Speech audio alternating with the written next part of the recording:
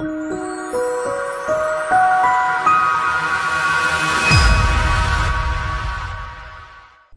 chào các bạn thí sinh 2K3. Trường Đại học Mở Hà Nội dự kiến sẽ tổ chức thi năng khiếu vẽ trực tuyến vào ngày 12 tháng 8 năm 2021 đối với nội dung thi hình họa. Thời gian làm bài là 150 phút, yêu cầu vẽ tĩnh vật trên giấy A2 bằng bút chì đen. Trong video ngày hôm nay, chúng ta sẽ cùng tìm hiểu cụ thể các bước khi tham gia kỳ thi năng khiếu vẽ trực tuyến của nhà trường. Đầu tiên sẽ là những thứ mà thí sinh cần chuẩn bị trước buổi thi. Thứ nhất, vì đây là thi trực tuyến nên điều quan trọng đầu tiên là các bạn phải có đường truyền internet ổn định, có thể sử dụng Wi-Fi, 4G tốc độ cao hoặc mạng dây cố định để phù hợp với từng thiết bị kết nối. Ưu tiên nhất là dùng mạng internet có dây. Thứ hai, các bạn cần chuẩn bị ít nhất một thiết bị đầu cuối và chỉ được sử dụng một trong ba thiết bị là máy tính bàn, laptop hoặc máy tính bảng. Các thiết bị này phải có chức năng ghi âm, ghi hình, kết nối internet tốt, cài đặt phần mềm trình duyệt Chrome để kết nối đến hệ thống thi trực tuyến của nhà trường được ổn định hơn và đừng quên sạc đầy pin cho thiết bị nếu có. Các bạn nhớ thoát khỏi tài khoản của tất cả các ứng dụng tin nhắn, gọi điện internet như Zalo, Messenger hoặc Viber và nên bỏ chế độ tiết kiệm năng lượng để tránh dẫn tới việc thiết bị tự tắt sau một khoảng thời gian không sử dụng. Bước thứ ba, chuẩn bị đủ 10 bộ mẫu vật bao gồm Vật mẫu đầu tiên chúng ta biết là chiếc chai thủy tinh có dung tích 650ml, chất liệu thủy tinh trong. Trong trường hợp các bạn không tìm thấy cái chai có kiểu dáng như thế này là kiểu dáng phổ thông thì các bạn có thể tìm cái mẫu chai có kiểu dáng tương đương. Vật mẫu số 2 là chiếc bát ăn cơm và đôi đũa. Chất liệu sứ men màu trắng trong trường hợp các bạn không tìm được chất liệu sứ men màu trắng hết như hội đồng tuyển sinh đưa ra, thì các bạn có thể chọn những cái bát có hoa văn họa tiết. Nhưng khi vẽ, ta không vẽ hoa văn họa tiết. Vật mẫu thứ ba là chiếc chai nước khoáng nhựa dung tích 500 ml và bỏ hết tem nhãn ra sau đó chúng ta chỉ vẽ chai không trong trường hợp chúng ta không tìm được cái chai đúng như mẫu thì chúng ta có thể tìm chai kiểu dáng tương đương và chúng ta tìm đúng dung tích 500 ml. Vật mẫu thứ tư là chiếc tô đựng có đường kính khoảng 18 đến 20 cm, cái tô đựng phổ thông như trên hình ảnh. Và có họa tiết hoa văn thì chúng ta cũng không vẽ họa tiết hoa văn ở trên đó. vượt mẫu thứ năm là chiếc đĩa có đường kính khoảng 25 cm. Chất liệu men sứ màu trắng. Nếu trong trường hợp chúng ta có hoa văn họa tiết, chúng ta cũng có thể không vẽ hoa văn. vượt mẫu thứ sáu là quả cam. Ba quả cam. Ba quả cam này các bạn chọn quả cam chín vàng. Nếu không chọn được thì có thể cam xanh, nhưng đường kính hoặc là kích thước nó ở cỡ trung không quá to và không quá nhỏ vật mẫu thứ bảy, chiếc ấm uống trà, chất liệu sứ men màu trắng trong trường hợp nếu không tìm được cái chất liệu đúng như này hoặc form dáng đúng như này, chúng ta có thể tìm được tìm và thay thế bằng cái vật mẫu có form dáng và chất liệu tương đương còn nếu có họa tiết hoa văn thì chúng ta cũng không vẽ họa tiết hoa văn Vật mẫu thứ 8 là quả chuối. Chúng ta chuẩn bị ba quả chuối tiêu. Có thể xanh hoặc có thể chín đều có thể vẽ được. Vật mẫu thứ 9 là chiếc ca, chiếc cốc sứ màu trắng. Cũng giống như cái tô, nếu như chúng ta không tìm được màu trắng, có thể một chút hoa văn, nhưng khi vẽ chúng ta không vẽ hoa văn. Chất liệu cuối cùng, vật mẫu cuối cùng là quả táo ba quả táo. Thì chúng ta cũng chọn lựa quả táo tây hoặc táo tàu có cỡ khoảng trung bình không quá to không quá nhỏ để khi vẽ ta dễ vẽ hơn. Thứ tư chuẩn bị các vật dụng cần thiết để thi vẽ đầu tiên, chúng ta phải chuẩn bị một bảng. Ít nhất là có thể để được tờ giấy A2 là khoảng 40 60 cm chiếc bảng này bề mặt phẳng. Thứ hai là bút bút chì chì đen. Các bạn có thể chuẩn bị các loại bút từ 2 3 4B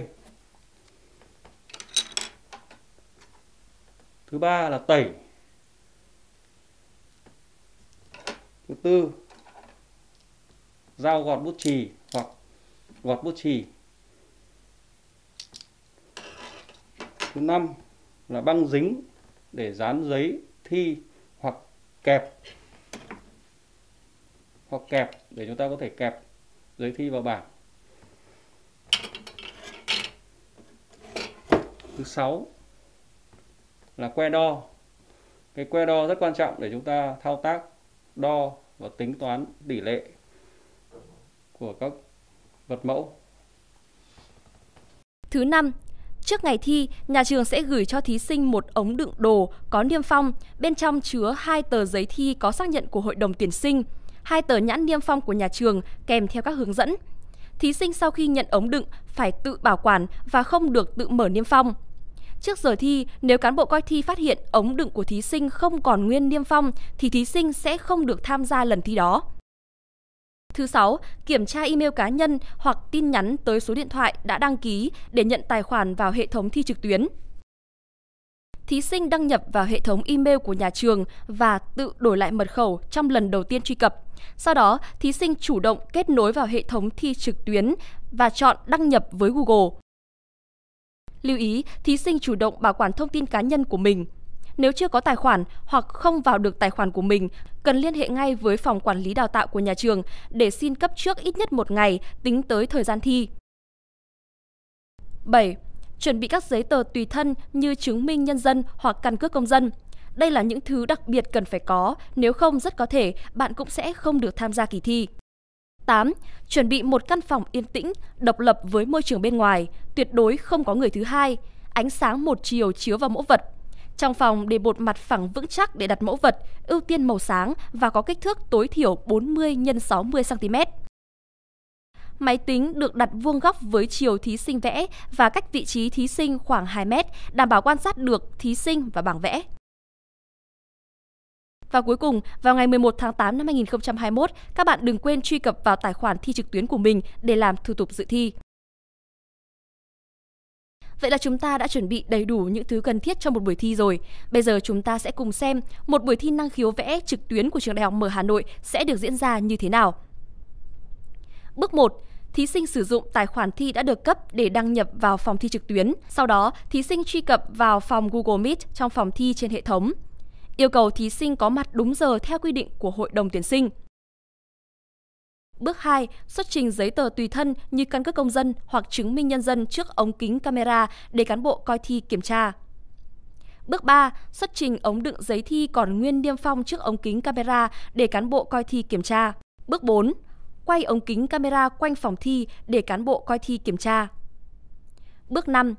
Khi được cán bộ coi thi cho phép thì bóc ống đựng và lấy một tờ giấy thi gắn vào giá vẽ. Thí sinh điều chỉnh vị trí camera theo yêu cầu của cán bộ coi thi, đảm bảo quan sát được vị trí của thí sinh và giá vẽ. Khoảng cách từ camera tới thí sinh là từ 1,5 đến 2 mét. Bước 6. Nhận số báo danh từ cán bộ coi thi, sau đó điền số báo danh cùng đầy đủ thông tin cá nhân vào giấy thi. Bước 7. Khi có hiệu lệnh, thí sinh sẽ nhận đề thi từ phòng thi trực tuyến bằng cách bấm vào đề thi trên hệ thống. Bước 8. Sắp xếp đồ vật gia dụng theo yêu cầu của đề thi lên bàn để mẫu vẽ, loại bỏ những đồ gia dụng thừa không sử dụng. Sau khi chúng ta đã lựa chọn được 3 bộ vật mẫu theo yêu cầu của đề thi, chúng ta sẽ tiến hành sắp xếp theo mô tả và yêu cầu chi tiết của đề bài. Ví dụ, đề thi mô tả chiếc chai nước khoáng 500ml đặt ở chính giữa và phía trong cùng. Chiếc bát ăn cơm và đôi đũa đặt phía bên tay phải và phía trước cái chai. Ba quả táo sẽ đặt ở phía trước nhất và bên tay trái.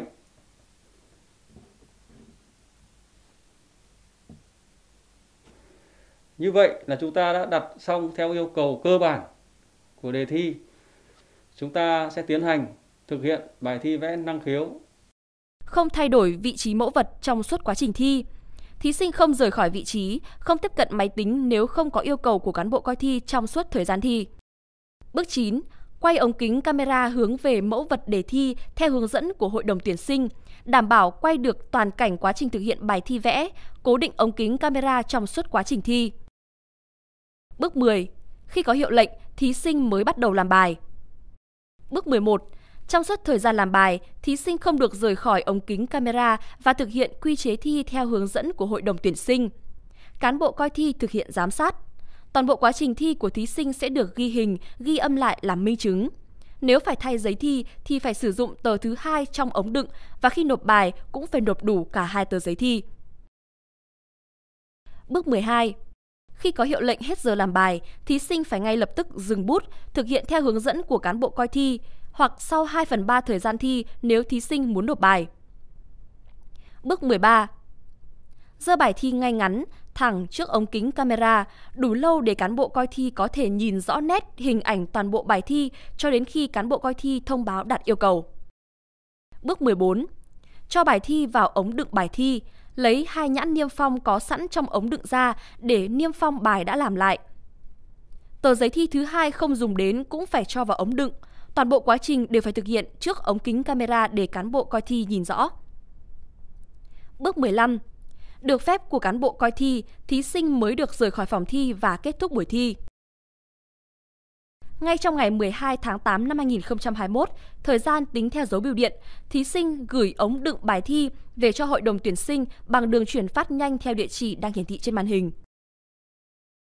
Lưu ý, một số tình huống bất ngờ có thể xảy ra khiến bạn phải thi lại vào đợt sau, dự kiến vào ngày 19 tháng 8 năm 2021 và phải đóng lệ phí thi lại. Có thể kể đến các tình huống như 1. Mất kết nối Internet từ phía thí sinh. Tuy nhiên, nếu chứng minh được đó là do yếu tố khách quan thì bạn sẽ không phải đóng lại lệ phí thi. 2. Ống đựng giấy thi không còn nguyên niêm phong trước khi thi hoặc ống đựng bài thi không còn nguyên niêm phong trước khi hội đồng tuyển sinh nhận được bài thi. 3. Bài thi sử dụng giấy thi không phải là loại giấy do hội đồng tuyển sinh phát hành. 4. Phát hiện có người tác động trong quá trình thí sinh làm bài. 5. Hình ảnh về quá trình thi của thí sinh bị phát tán ra ngoài trong giờ thi. 6. Môi trường thi không đảm bảo yên tĩnh, độc lập. 7. Thí sinh rời khỏi màn hình video ghi hình vì bất cứ lý do gì. 8. Thí sinh không nhận được ống đựng giấy thi do yếu tố khách quan. 9. Hội đồng tuyển sinh không nhận được ống đựng bài thi của thí sinh do yếu tố khách quan. 10. Bài thi bản giấy nộp về hội đồng tuyển sinh khác với ảnh chụp bài thi khi kết thúc buổi thi. Các bạn hãy nhớ kỹ các tình huống trên để không mắc phải nhé. Các bạn thân mến, vừa rồi chúng ta đã cùng theo dõi những hướng dẫn cụ thể, chi tiết cho một buổi thi năng khiếu vẽ của trường Đại học Mở Hà Nội. Đừng quên tham dự tập huấn trước ngày thi để hiểu rõ hơn về cách thức thi cũng như quy chế thi năng khiếu các bạn nhé. Chúc các bạn sẽ có một buổi thi năng khiếu suôn sẻ và đạt kết quả cao. Xin chào và hẹn gặp lại các bạn ở những video hướng dẫn tiếp theo.